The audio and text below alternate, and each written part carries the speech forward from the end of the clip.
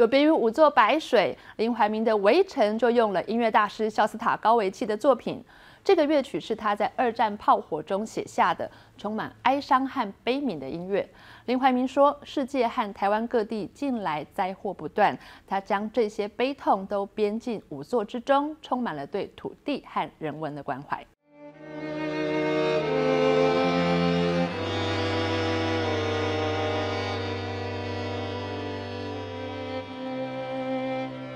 随着苏联大师肖斯塔科维奇第八号弦乐四重奏的旋律，舞者在白色烟雾中时而撑直着身躯勉强站立，下一刻又惊慌奔逃。这是林怀民的新作《围城》。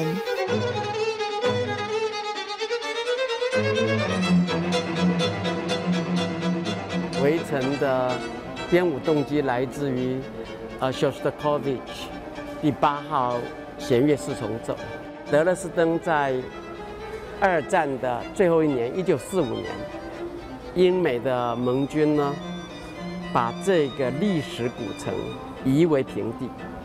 一九六零年，Shostakovich 到达德勒斯登的时候，看到的就是战后毁灭的一个形象，所以他三天里面写的这个曲子，把它献给法西斯和战争的牺牲者。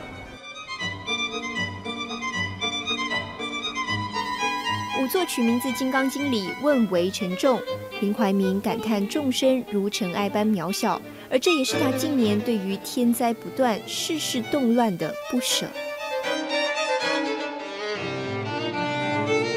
这几年来，我在常常想说，整个世界的天灾人祸，我想人类一直都有天灾人祸，但是现在的资讯这么的密集。所以发生了不好的事情，什么通通堆出来。眼前我们有伊拉克、啊加沙、啊乌克兰，台湾也有前阵的气爆，这些种种东西让人家觉得人的渺小脆弱。所以我想，我就想变这个。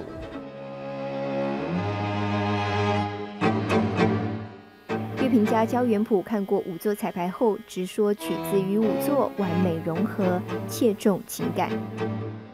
这部作品讲的是夏高一些自己，多过于在讲什么法西斯或二次世界大战。可是因为他的这个编舞，让我回想到一个事实，就是这首弦乐四重奏是潇洒高维契唯一在苏联之外，然后所写下的主要作品。那为什么会这个样子呢？就是一定是说这个场景触动了他写下这一个作品。那我们不能把这个场景给就是抛弃掉。故事场景从断垣残壁的城市转到舞台，林怀民以炙热的红黑和烟雾刻画曲子背后的伤痛，刻意压低舞台，而舞者宛如受困在黑盒子里。因为它是一个压力很重的音乐，那么这里面讲的是悲剧。所以这里面不只是背景是红黑的重的颜色，事实上整个舞台都缩小，啊压低，所以所有的舞者好像被关在一个黑盒子里面。为最新舞作撰写文案的小说家骆以军，对于舞作有着充满想象力的比喻。